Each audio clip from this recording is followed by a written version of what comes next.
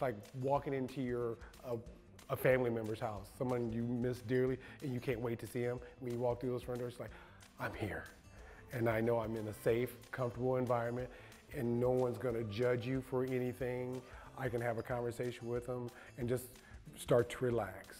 And I like I like it because I can relax and just feel comfortable and be me.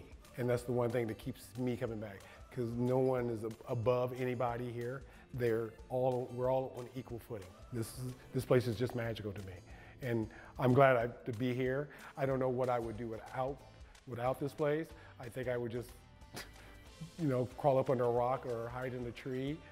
But this place is magic to me. And it, it holds a very special place in my heart.